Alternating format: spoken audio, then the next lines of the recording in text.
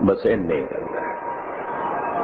ਕਿਸੇ ਨੂੰ ਬੁੱਲੇ ਨੇ ਕਹਿ ਦਿੱਤਾ ਸੀ, ਬੋਲਿਆ, ਰੱਬ ਦਾ ਕੀ ਪਾਣਾ, ਇਧਰੋਂ ਪੁੱਟਣਾ ਤੇ ਇਧਰੋਂ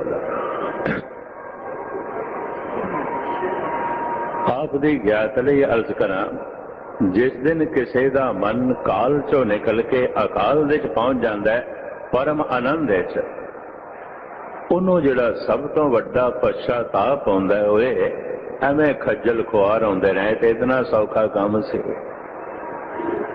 ਪ੍ਰਾਪਤੀ ਤੋਂ ਬਾਅਦ ਪਤਾ ਚੱਲਦਾ ਹੈ।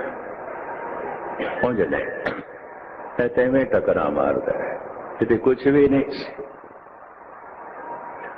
ਔਰ ਜੋ ਕੁਝ ਕਰਦੇ ਰਹੇ ਆ, ਉਹ ਗਲਤ ਕਰਦੇ ਰਹੇ ਆ। ਗਲਤ ਕਰਨ ਨੇ ਠਕਾਇਆ। ਗਲਤ ਕਰ ਕਰਕੇ ਟੁੱਟ ਗਏ। ਜਿਹਦੇ ਉਤੇ ਧਾਰਮਿਕ ਅਨੁਭਵੀ ਪੁਰਸ਼ ਕਹਿੰਦੇ ਨੇ, ਘਰ ਦੇ ਅੰਧੇਰਾ ਸੀ। ਤੇ ਪਤੀ ਪਤਨੀ ਨੇ ਸੋਚਿਆ ਕਿਵੇਂ ਕਟਿਆ ਚਲੋ ਇਹਨੂੰ ਕਹਿੰਦੇ ਆ, ਤੂੰ ਨਿਕਲ ਜਾ। ਦੋਵੇਂ ਉੱਚੀ ਉੱਚੀ ਆਵਾਜ਼ ਵਿੱਚ ਕਹਿਣ ਲੱਗੇ, ਅੰਧੇਰੇ, ਤੋਂ ਨਿਕਲ ਜਾ ਸਾਡੇ ਘਰੋਂ। ਨਿਕਲ ਜਾ। ਨਹੀਂ ਨਿਕਲਿਆ। ਪਤਨੀ ਕਹਿੰਦੀ ਏ, ਡਾਂਗ ਚੁੱਕ ਲੋ ਕੁੱਟੋ ਇਹਨੂੰ। ਮਾਰੋ। ਤੇ ਗੱਲਾਂ ਨਾਲ ਨਿਕਲਣ ਵਾਲਾ ਨਹੀਂ ਦੋਹਾਂ ਨੇ ਡਾਂਗਾ ਚੁੱਕ ਲਈਆਂ। ਮਾਰਨ ਲੱਗੇ। ਮਾਰਦਿਆਂ ਮਾਰਦਿਆਂ ਹੱਥ ਥੱਕ ਗਏ। ਟੁੱਟ ਗਏ। ਉਹਨਾਂ ਦੀ ਛੋਟੀ ਲੜਕੀ ਕਹਿਣ ਲੱਗੀ, ਬਾਪੂ, ਇਹ ਸੋਟੀਆਂ ਨਾਲ ਨਹੀਂ ਨਿਕਲੇਗਾ, ਇਹ ਤੋਲਣ ਨਾਲ ਨਿਕਲੇਗਾ। ਧੁਲਾਈ ਕਰ ਦੇਣੇ ਆ। ਤੋ ਪਾਣੀ ਪਾਣ ਲਗੇ ਤੇ ਝਾੜੂ ਮਾਰਨ ਲਗੇ, ਚਲੋ ਇਹਨੂੰ ਇੰਜ ਬਾਹਰ ਕੱਢਦੇ ਆ ਡੋਲ ਡੋਲ ਕੇ ਪਾਣੀ ਵੀ ਥੱਕ ਗਏ। ਝਾੜੂ ਦੇ ਦੇ ਕੇ ਵੀ ਥੱਕ ਗਏ। ਹਨੇਰਾ ਤੇ ਨਾ ਨਿਕਲੇ। ਡਾਂਗਾ ਮਾਰ ਮਾਰ ਕੇ ਵੀ ਥੱਕ ਥੱਕ ਗਏ, ਟੁੱਟ ਗਏ। ਅੰਧੇਰਾ ਤੇ ਨਾ ਨਿਕਲਿਆ ਆਵਾਜ਼ਾਂ ਮਾਰ ਮਾਰ ਕੇ ਵੀ ਥੱਕ ਗਏ, ਗਲਾ ਪਾੜ ਪਾੜ ਕੇ ਵੀ ਥੱਕ ਗਏ। ਔਰ ਗਲਾ ਬੈਠ ਗਿਆ। ਅੰਧੇਰਾ ਤੇ ਨਾ ਨਿਕਲਿਆ। ਇੱਕ ਸੰਤ ਲੰਗੇ ਜਾ ਰਹੇ ਸਨ। ਉਹਨਾਂ ਨੇ ਇਹਨਾਂ ਦੇ ਘਰ ਵਿੱਚ ਅੱਧੀ ਰਾਤ ਨੂੰ ਹਰਕਤ ਦੇਖ ਕੇ ਪੁੱਛ ਲਿਆ, ਕੀ ਕਰ ਰਹੇ ਹੋ? ਅੰਧੇਰੇ ਨੂੰ ਕੱਢ ਰਹੇ ਹਾਂ। ਕੱਢਦਿਆਂ ਕੱਢਦਿਆਂ ਥੱਕ ਗਏ ਬੜਾ ਤਾਕਤਵਰ ਹੈ। ਬੜਾ ਸ਼ਕਤੀਸ਼ਾਲੀ ਹੈ। ਆਵਾਜ਼ਾਂ ਨਾਲ ਤੇ ਨਹੀਂ ਨਿਕਲਿਆ ਸੀ, ਡਾਂਗਾ ਮਾਰੀਆਂ ਇਹਨੂੰ ਇਹ ਡਾਂਗਾ ਨਾਲ ਵੀ ਨਹੀਂ ਨਿਕਲਿਆ।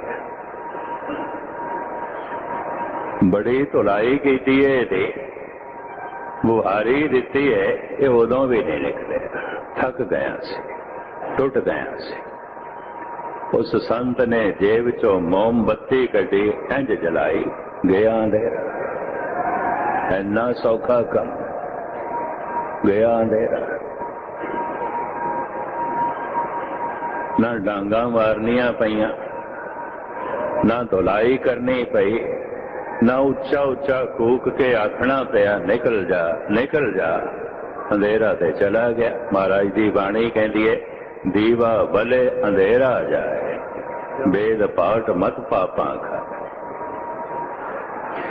ਜੈਸੇ ਦੀਵਾ ਜਲਾਈਏ, ਤੇ ਅੰਧੇਰਾ ਚਲਾ ਜਾਂਦਾ ਹੈ। ਜਿਵੇਂ ਗਿਆਨ ਦਾ ਪਾਠ ਕਰੀਏ, ਪ੍ਰਮਾਤਮਾ ਦੇ ਉਹ ਬੋਲ ਜਿਹਦੇ ਪ੍ਰਮਾਤਮਾ ਦਾ ਨਾਮ ਹੈ, ਗਿਆਨ ਹੈ ਦੁਹਰਾਈ ਹੈ ਪਾਪ ਚਲੇ ਜਾਂਦੇ ਨੇ, ਦੁੱਖ ਚਲੇ ਜਾਂਦੇ ਨੇ। ਬੜੇ ਧਿਆਨ ਨਾਲ ਸੁਣਨਾ ਹੈ ਤੋਂ ਪੰਕਤੀਆਂ। ਦੀਵਾ ਬਲੇ, ਅੰਧੇਰਾ ਜਾਏ, ਵੇਦ ਪਾਠ, ਮਤ ਪਾਪਾਂ ਖਾਏ। ਗਿਆਨ ਨਾਲ ਭਰੇ ਹੋਏ ਗ੍ਰੰਥਾਂ ਦਾ ਪਾਠ ਇਸ ਤਰ੍ਹਾਂ ਪਾਪ ਨੂੰ ਖਾ ਜਾਂਦਾ ਹੈ, ਜਿਵੇਂ ਜਲਦਾ ਹੋਇਆ ਦੀਵਾ ਹਨੇਰੇ ਨੂੰ ਖਾ ਜਾਂਦਾ ਹੈ। ਤੇ ਤੁਸੀਂ ਆਖੋਗੇ, ਪਾਠ ਤੇ ਅਸੀਂ ਬੜੇ ਕੀਤੇ ਨੇ, ਕਰਦੇ ਆ ਖੇਡ ਤੇ ਨਹੀਂ ਬਣਦੇ।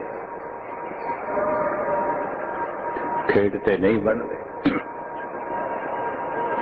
ਇਹਦੇ ਚ ਦੱਸ ਦਿੱਤਾ ਹੈ ਇੱਕ ਸ਼ਬਦ ਲੈਵਲ ਆ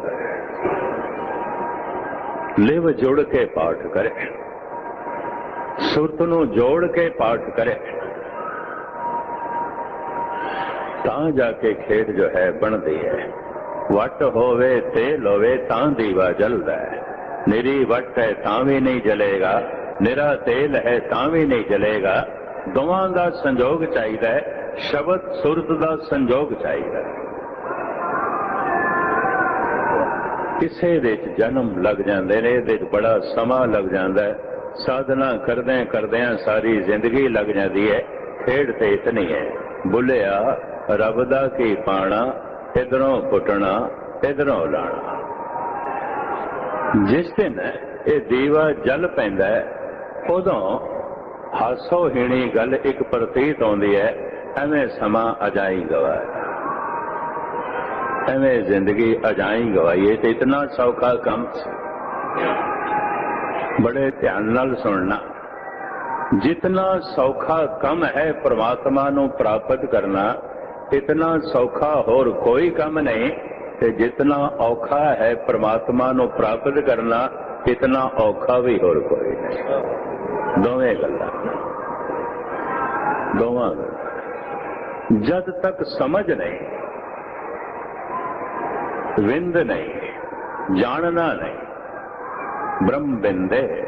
ਜਿੰਨੇ ਚਿਰ ਤੱਕ ਬ੍ਰਹਮ ਦਾ ਬਿੰਦ ਨਹੀਂ ਹੈ, ਜਾਣਨਾ ਨਹੀਂ ਹੈ, ਸਮਝ ਨਹੀਂ ਹੈ। ਬਹੁਤ ਔਖਾ ਬਹੁਤ ਔਖਾ ਬਹੁਤ ਔਖਾ। ਗਲਤੀ ਤੇ ਗਲਤੀ ਕਰੀ ਜਾਏਗਾ, ਕਿਉਂ? ਸਮਝ ਨਹੀਂ ਹੈ। ਬੁਲਾਵੜੇ ਭੁੱਲੇ ਭੁੱਲ ਭੁੱਲ ਪਛੋਤਾਣੇ ਭੁੱਲਾਂ ਕਰਦਾ ਜਾਏਗਾ ਭੁੱਲਾਂ ਕਰਦਾ